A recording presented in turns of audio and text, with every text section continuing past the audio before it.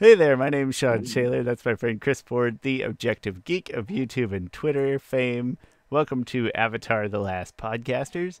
And today we are going to rewrite The Legend of Korra Book 2 Spirits. And then we're going to send our script into all the directors in Hollywood and see which one of them picks it up and, and takes it and runs with it. No, uh, we are going to, let's say lightly, uh, or moderately suggest some changes that we feel might have made this the least of the Avatar seasons by most people's opinions. Maybe I will say a this little is more interesting. I, this is very pretentious of us, no doubt, 100%. because we are not writers. We have never taken, well, maybe you have, Shawn. I've never taken like creative writing classes beyond high school. I have taken numerous, Um, but I have learned that I am not creative. Is the issue? The writing part is good. The creative part, not so much. Okay. All I'm saying is Uh, our podcast has the guts to do this where other hyper famous uh, official Nickelodeon podcasts probably would never. You Mm. Would never get this kind of edgy, edgy content on those podcasts. so, so we're gonna take it into our own hands. Uh, yeah, you know, I think I wouldn't probably, I wouldn't say dare. I wouldn't bother doing it for any of the other seasons, but I think this one is is probably universally I think I think this season. One thing I love the season. Um, there's episodes that I hate, but I love the season. love. I, love. I do. Do I you love love, it in the way it. that like humans are all supposed to love each other? No, no, no, not at all. And I, also, I don't love all humans. I, Um, I mean, I'm like a four out of five. I'm a I'm on a like for this season. If every other season's a five, this one's a four out of five. Uh, I love the season.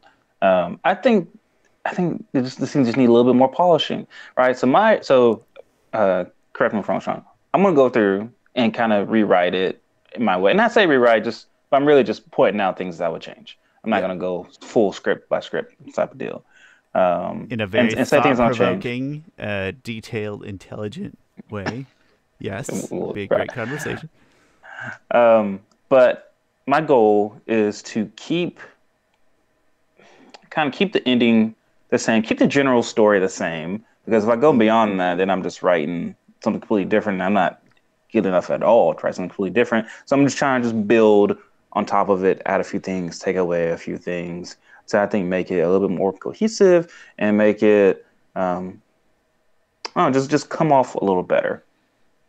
Yeah, that sounds perfect. And then uh, I will at the end. I'm gonna throw you a curveball at you, just like a real quick, like this is Shawn's idea, and it's a terrible idea, but I'm gonna throw it at you anyway because I already put it in the Okay. slides and it's too late. So I'll do that right at the end. It won't take long. But first, I do before we jump in, I just want to note uh, this is week two of three of maybe slightly what was the, I forgot the word again abbreviated episodes uh, due to holidays and vacations on my side. No fault of Chris's, so my own apologies. But week two of three of slightly abbreviated episodes. So this week, happy 4th of July, by the way. Be safe. Have a happy 4th of July. Uh, count your blessings, all that good stuff. And then next week will be abbreviated, and then the week after that we'll get back to normal. So my apologies. Thanks for bearing with us. That's my disclaimer for this episode. So, Chris, whenever you're ready. All right, I'm gonna go in somewhat chronological order on how the season starts. So I think first of all, the first thing that annoyed me with book two is that Korra was annoying, and so my biggest, my first big change will will be make Korra less annoying, and to that to do that, I think you give her give her the issue of all the dark spirits and everything, but she can't solve it, right? She keeps just going forceful at him, forceful at him, and that's not solving it. So have her actually communicate with her past lives, and that would just be really cool just to see, because it will show that Korra is is trying everything she can to solve this issue, and we know that none of them have any clue really what to do with dark spirits like this. Aang wouldn't have a clue. One thing it would just be cool to see Aang again, so that will uh, really all the Avatar diehard uh, nostalgia fans will love that. Just seeing Aang talk to Korra again, uh, and then talking to Roku, and then talking to um, Kyoshi, and and uh, and get back to Kuruk. And Kuruk would be like, "Hey, I, I dealt with dark spirits, and my life was shortened because of it. I got nothing for you." so that um, like, like, yeah, I- you I- can have a bad time. I- yeah, like oh, mm, you got to deal with dark spirits. Uh, I don't want to tell you, but that's why I only live to be thirty-three. How old are you? Eighteen? Well, you know, you got Hmm. Got another fifteen years. Good. I Better mean, get working maybe- on that midlife crisis ASAP. Yeah. um, so that one thing that puts in that puts a a a dilemma in Korra's head, right? Of like, I got to do anything I can to do this, or I'm going to end up the same as Kuruk. Which one thing it, it does a good job of bringing back in Kuruk, I think. Granted, we didn't know what we know about Cork now because it didn't exist then. And so, okay, that's kind of a hindsight 2020 type deal. But we still know that Kuruk dealt with like Koh and stuff. Um, but still, either way, no one would know what to do about dark spirits. And, I then she'll talk. to not to in- interfere with your thought process here, but I wouldn't want to give away too much of what happens in the novel in in this season. Still, Uh, no, no, I wouldn't either. I, I would just vaguely hint at it. Pretty much, yeah. yeah, yeah, vaguely hint at it. Um, and then you know, then she'll go to Tenzin, and she'll like Tenzin. I talked to my past lives. Your dad has nothing to say about these dark spirits. What do I do? And then Tenzin will be like, he wouldn't know either. he has no idea. And also Tenzin is just so spiritually inept. And then here comes walking in um, her uncle, Unalaq. And and so she will she will instead of just dumping Tenzin because that's the way it feels. That that was the part I hated because those two grew so much over season one together. Then when she dumped them in season two, it felt like a betrayal of that character, and I think that's bad writing. And so this time she would dump him, but for a good reason. She's one thing she's probably scared of. She's scared of dying young, and when you're scared, you, you do things um, they probably wouldn't normally do. But this one thing it makes sense that she would be like Tenzin, I can't. It's it's it's not your fault, but I can't have you as a teacher. I need someone new. Like, thank you for everything you've given me, but I have to I have to go my own. We have to go our own ways now. And so that will be a nice little heartfelt kind of goodbye. Tenzin will feel really low and, and down in the dumps on himself. Like, like that that would make him feel even worse, right? Because before Korra dumped him, and you could just chalk that up to Tenzin could have just chalked it up to angsty teenage stuff. But then this Korra is actually the sensible one. She's making a lot of sense, and that he's not good enough to be her spiritual teacher, and so that's going to hurt him even more. Well, and in this, Right. but in this situation you've described, he might even be a little more sympathetic to like the the dangers that she's facing by being uneducated. Even Yeah. Tenzin might feel a little more sympathy toward it. Might might be uh, more of a mutual breakup. Yeah, yeah, it will be. But I think he, I think it could still be, it could, yeah, it could be a mutual breakup. But he'll still take it hard. Yeah. He'll still take it like I'm supposed to be the success, the successor to Avatar Aang's legacy, and I can't even help his his life, his his future life. Um, like so that that puts him in a good place to grow from there. Um, so then enter Unalaq, and pretty much from there, things like the first five episodes or so kind of go the same way. I, I think there's one episode in there that we really, really liked. Um, so yeah, so those kind of mostly go the same way. Oh, there was another annoying thing she did with her her dad, and if I was, um, so as she's communicating with her past lives, right, she'll ask Aang like, Aang, why did you want to kind of lock me away and train me? Like I thought you were very free and stuff, and Aang would be like, uh, I didn't want that for you. like I wanted you to be you. Just you know, the Avatar is supposed to travel the world, and then she go to her dad, be like, "So you guys have been lying to me?" Hey, Like- Gil, I talked to Yeah. the previous Avatar. You might know him, and he said that said that you guys made this decision. yeah. Uh, so that that puts Korra kind of rightfully mad at her dad for lying to her. Um, so you know he'll he'll be like, well, me and the White Lotus thought that it would be better for you to to train just you know just locked up and locked away and stuff. Like there was so many threats, Korra, and you might be asking yourself like, oh well, why don't they mention the threat of the Red Lotus? Because that's in my head, that's the real reason why they locked her away because the Red Lotus kidnapped her at like the age of four, and uh, but I think the re- the the way you explain that he doesn't try to explain the Red Lotus to her is that he does something awful at that time. Also, like maybe he goes overboard and kills, um, like one of his close friends or something. Not his girlfriend, because that's too close. Um, but maybe like a, a teacher. No, no, him. that's too strong. Yeah, that's this. Um, and he, and he regrets that, and that's kind of ruined him spiritually, and and that's also another act of aggression he did on top of the going after the spirits in um, in the in the North Pole. Uh, and so, like to, to him, that's a part of him that he wants to forget. He never wants to bring up again. So that way, you can write that in to explain that they don't mention the Red Lotus, um, because and because that would be an easy way to explain to Korra, like, hey, the Red Lotus will try to kidnap you. That's why we locked you away. But you you just you just he just tells Korra that it's a there was threats and stuff. But she'll still be like, no, you lied to me, and so that would cause rift in their relationship. That would that would come off more organic, know, reason, uh, yeah, believable. More, yeah, would.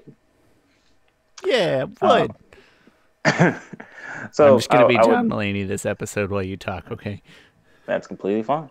Um, so that would explain explain kind of their relationship Tyranny, and then they still haven't married them.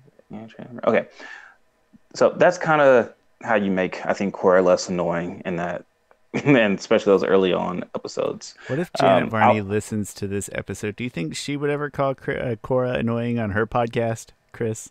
One thing I think Janet Varney is hard on Korra herself, in in a way, not in, not in like usual typical fashion. I, I, I, she loves Korra, no doubt about it. Like she absolutely adores Korra, but I say she's hard in the way that she often I feel like she she lowers Korra to uplift Aang right? She'll be like, you know, Aang is is great and stuff. um, but she also she also gets into like fan interactions. I think sometimes where where uh, she she defends Korra to a certain extent. But I think she sees that Korra is also can be like abrasive at times. I mean, she she knows this. What? But but uh yeah, Korra, Korra uh, Jenny Varney loves Korra. um, okay, so for the most part, the story will kind of remain the same after after uh, between episodes like three and uh, three and seven. I think harmonic convergence starts, or the beginning starts on like episode seven. And I think yeah, things will stay relatively the same. Um, I would keep Unalaq relatively the same. So once you get to harmonic convergence, I think there needs to be a little bit of of just further explaining harmonic convergence and the kind of what's at what's on line. So you kind of say that harmonic convergence is also a time of great spiritual moment that can be filled with unexpected good or bad consequences, um, kind of resulting from the fight between um, Raava and Vaatu. And this is only there to set up a reasoning or some excuse why airbenders came back. right? Because it's not really explaining, like, they just say harmonic convergence. And, but if you say, like, oh, well, harmonic convergence is such this, like, radical thing that, like, spiritual energy just all over the place. Yes. Is it harmonic convergence that resulted in airbenders coming back, or is it opening of the spirit portals in general? Well, both. The okay. opening of spirit portals allowed harmonic convergence to happen. Intriguing. Okay. Yes. Um, so like they could explain like, oh, well, the spiritual energies of the airbenders were kind of floating, like they never they never had anything to reincarnate to. So then harmonic convergence took that energy and put it into other people. Just that way you can you can you can save that and use it for later to explain why there might be new airbenders. Instead, they just say harmonic convergence. Um, and grant, you know, they could do a better job of, of writing some of, of that, but just just to help explain it, I guess. Can it also have a different name? Huh. I hate never the really name thought about- harmonic convergence. So we got the uh like in Avatar the Last Airbender, we got the what is it called? The the solstice and Yeah. the what's The the, day other of uh, they have Day of Black Sun. Day of Black Sun. So those they just like they kind of make sense right away um, with sort of planetary or or astrological terms and things that we that we know and understand. And the the astrological Mhm. component still exists for harmonic Yeah. convergence, right? Like there's That some planet true. alignment or something like that. It's like can't they What is just, that called? Right? Can't What is, I- Is that called something in real life? I I would I w- think so, but surely it's so infrequent and that you know that maybe we just didn't take enough astrology classes uh, in college. but I'm looking. there's something about the name harmonic convergence that just feels I mean, I say made up, it's fiction. I I'm aware of that. but it just feels extra made up whereas like the solstice like all right, sol- solstice, real deal. Sun, firebenders get power sun. Good, makes sense. I don't know, it just fits together. Yeah, it's called. It's just called planetary alignment. Damn. Um, So yeah, that that doesn't sounds- lend itself very well. the day of alignment has come. I like alignment because I feel like alignment. Of the Can of be used world as- and the physical world uh, aligning as one, Yeah. something like that. Yeah, like something. I feel like alignment is is kind of a synonym synonym synonym It's a, it's a for- cinnamon. of- for uh, like reconciliation Mm-hmm. or or something along that line. So I, I think I like the word alignment, we can work um, with this.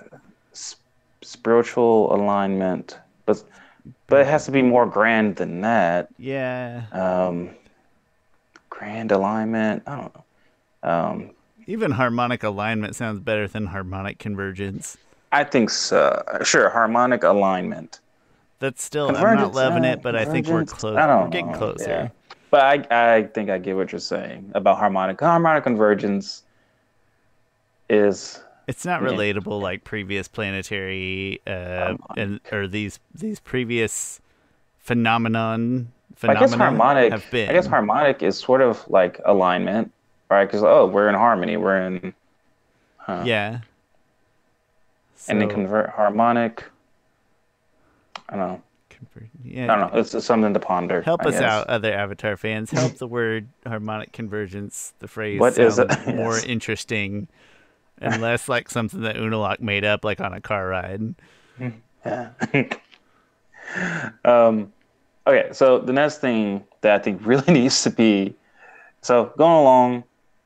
Uh, this is, I think, one of the one of the worst parts of this season to me, and that is the the the Varrick, Mako, Bolin, Asami storyline. I I found this to be the weakest because I feel like so many characters' relationship really regressed, and that was really annoying to me because they came such a long way. Um, oh, and add uh, add Lin to that. So I would have it to where Mako is still framed, but when he's framed that one time, Asami is like, no, there's no way that that Mako did this. One thing, none of them should be thinking he did it anyway because they know Mako, and so they shouldn't just be like nonchalantly going along with everything and not not Just, trying to fight this. immediately presume that he's a psychopath and Yeah. And so I do think Bolin would kind of keep going on with because Bolin is is getting to know Varrick pretty closely. It's like Varrick, Varrick is goofy, yeah, and eccentric, but I don't think he would set up Mako. But still be like, Mako's kind of onto him. Um, I, I just wouldn't make him so like doofusly just not caring. It seemed like he just didn't care about Mako's strife. Like make him sympathetic towards Mako, but make him still oh try and get close to Varrick, maybe for his own uh, just look at it and stuff and just because he trusts Varrick and, and maybe he's just like, you know what? I don't think it's Varrick, but I believe Mako that something's going on. So I'll, I'll just kind of keep going with Varrick and and dig deeper to find out who's really behind this. So he'll still be in the movers and everything, and that's fine because I I like him as a mover. I like this story element a little bit. Um, I guess I like it for for Bolin because it I think feeds into his character. Um, for Asami wise though, I think Asami she goes into detective mode. she she starts piecing.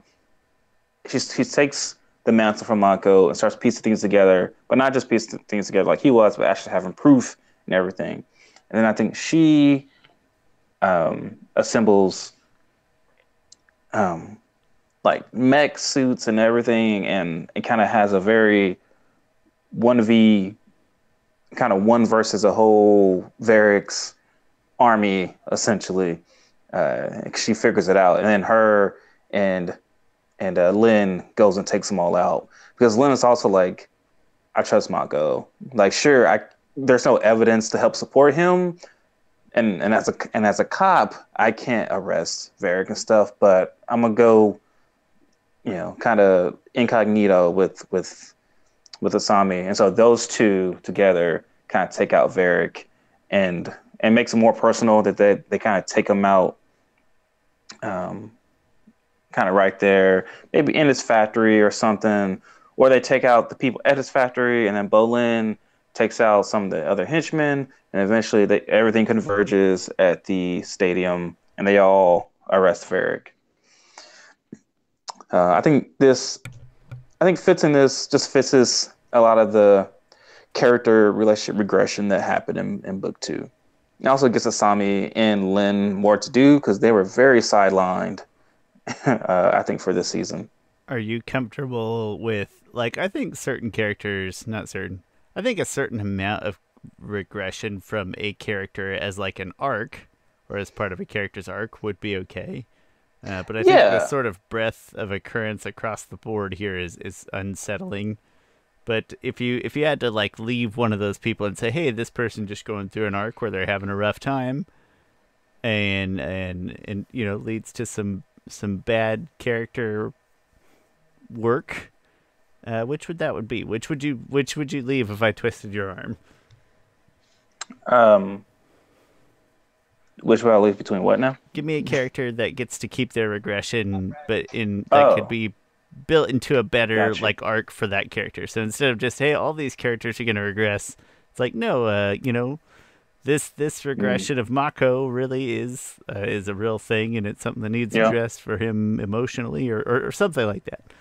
Huh. Um, huh. Just generally trying to make the point that the yeah. regression itself isn't bad. It's just the fact that it's kind of happening across the board for Yeah. kind of Yeah. inexplicable reasons.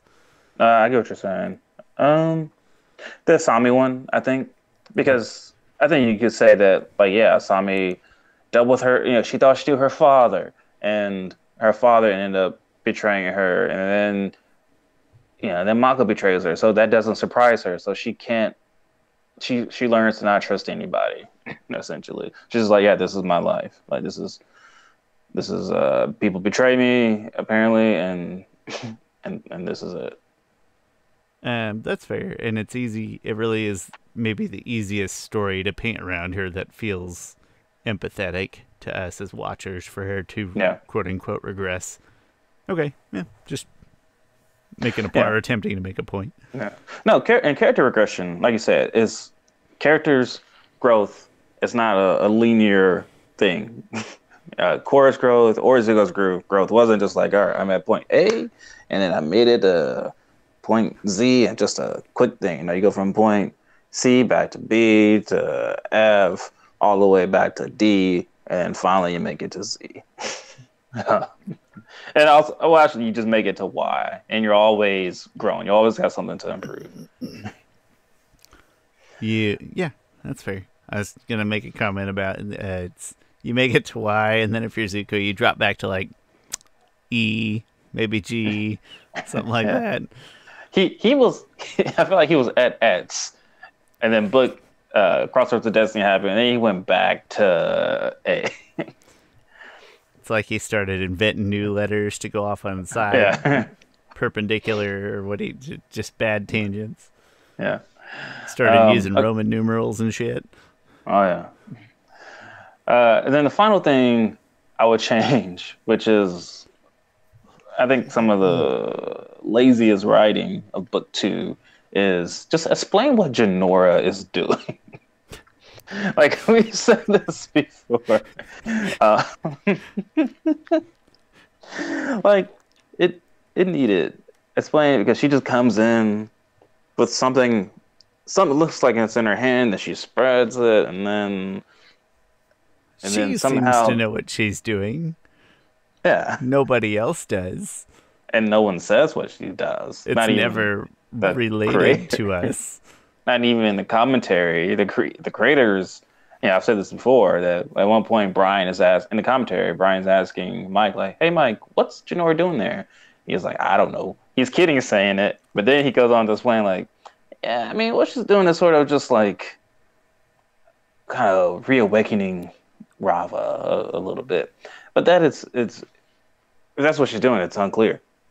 So just in my head, you just say Jinora when when when she when Tenzin gets her out of the fog of lost souls, she's like, Dad, I have I have something to do. Like I just have her explain it there. Tell her just like I know I can help. Like Raava's been destroyed, but the light's never fully destroyed. I can reawaken the light. Just boom, just do just just say that. Have That's funny. go down. It's perfect. and just just have Jinora shine her light because Jinora, I feel like you could say like light recognizes other other like part of Raava is that Raava is, is, fueled a little bit by just the light and people, and have Jinora shine her beautiful spiritual light, and that reawakens Raava kind of upstarts her growth a little bit. That way, boom, Korra can see it, and she and then Korra knows that that light is still there, and she can find it and rip it out. Somehow, uh, Jinora reveals like the glimmer that still exists of Raava. Somehow more explicable. Yes, but and maybe that's one of those things that they put in there, and then you know they put in the script because they're always kind of short on time. They're figuring out like what to cut, but it still I think could have really been used to explain because I defend Legend of Korra like so much to people, but then I'm like, there's two things I can't really because sometimes they're like, oh, it has like so many plot holes and, and stuff like this. And like, it doesn't have that many plot holes. Like, but there's two that can't explain that well. One is what was Jinora doing, and and why did harmonic convergence lead to airbenders? Like, you can sort of explain the two, but it's it's just uh, in the generic spirit world yeah. stuff and, way. Yeah, and the regular Avatar has I, actually I think the first series has bigger writing issues, and oh, we should get into that one day.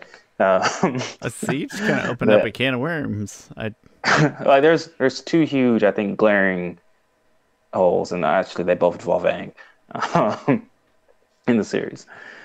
But and and and I just now I think notices I don't know in our reviewing, and so just some more you kind of look at it.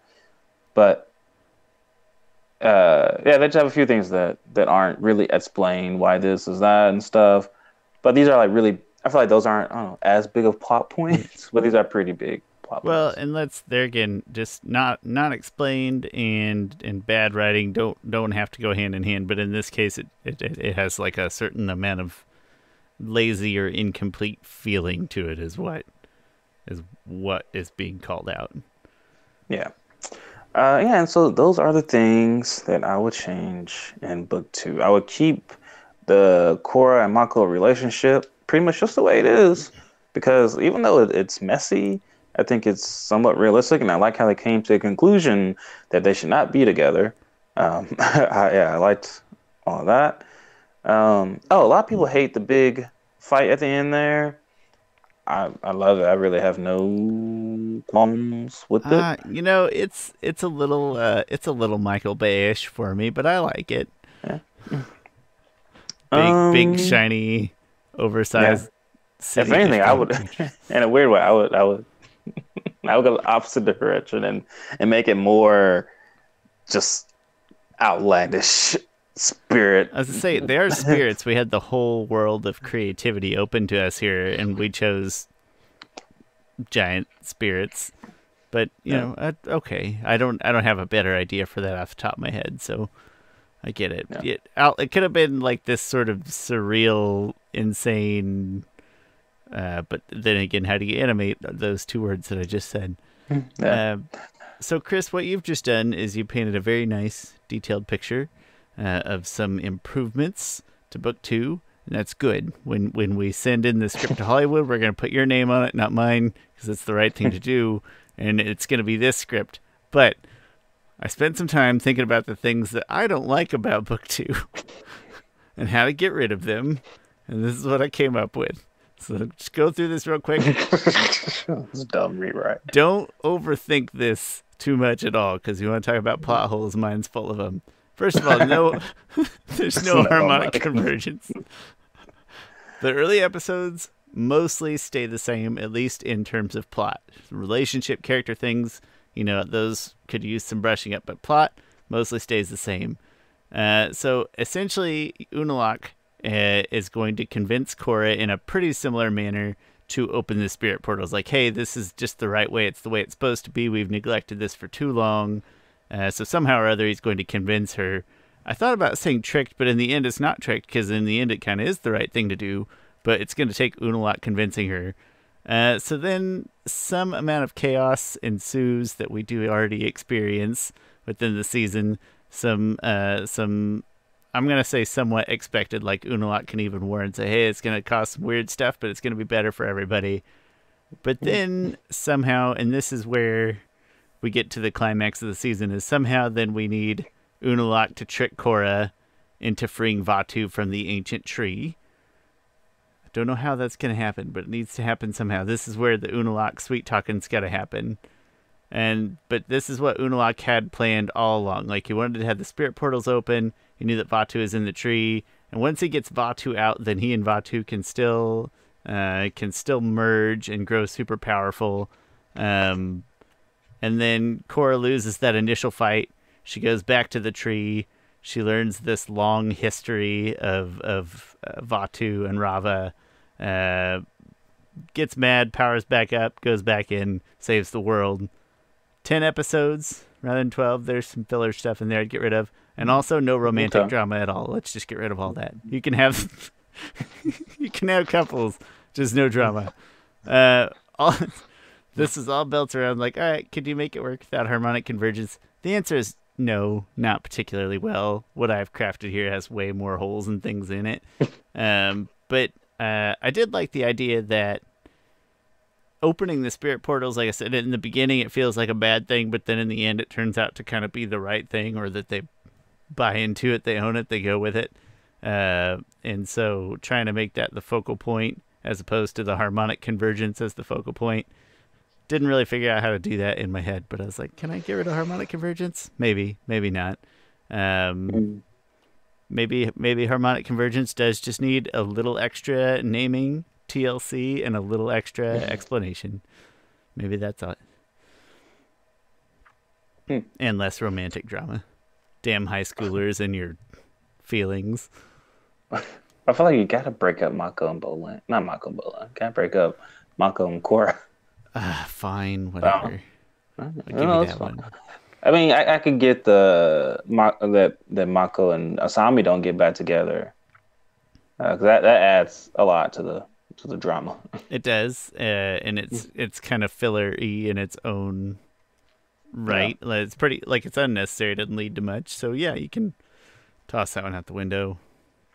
Maybe, uh, maybe Bolin wouldn't have to be romantically stupid. You could toss out some of that part. Ah, but that stuff is funny. Yeah. Uh, funny for like the very first time you're like yeah he really doesn't get it but then he keeps digging in you're like all right that's that's that's too much it's like steve carell when it goes like uh, in the office when something goes farther than it should and it stops being funny that's what bolin and his his bits with the the redhead lady i forget her name Yeah, I forgot. I'm, sh- I'm sure it's Yeah. important. But anyway, long story short, Book Two Spirits is a good season. Chris loves it. I very like it. I'm I'm I'm sticking with a four, four stars out of five, just uh, out of oh, yeah, five. out yeah. of right, yeah, stars. yeah. You You, know, we stars, yeah. usually do out of ten. five. You're right. So okay, I'll stick with eight. I guess that puts Chris in the nine territory. Is that what it equates? Yeah. Nine equates Although, to love. although if you although if you break it, that's on that's on a a favoritism right. ranking. Yeah, that's a, that's the Uh, it'll biased be- ranking. Yeah, it'll be interesting once we compare it to the other seasons.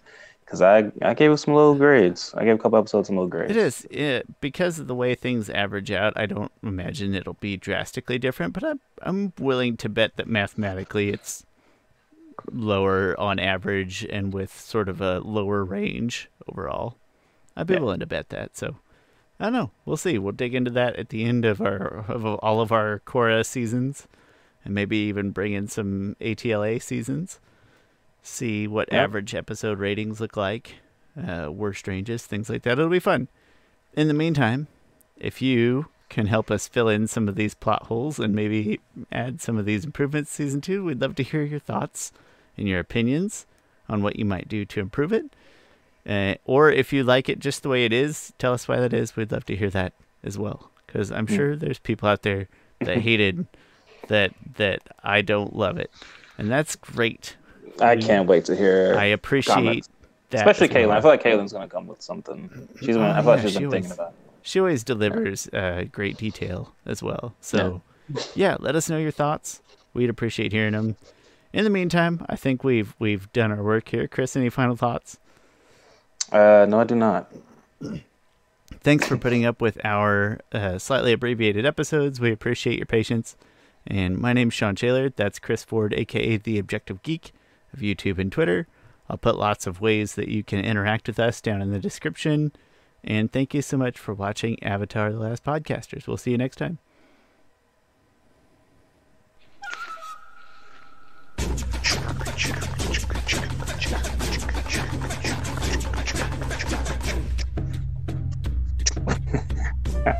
Yeah.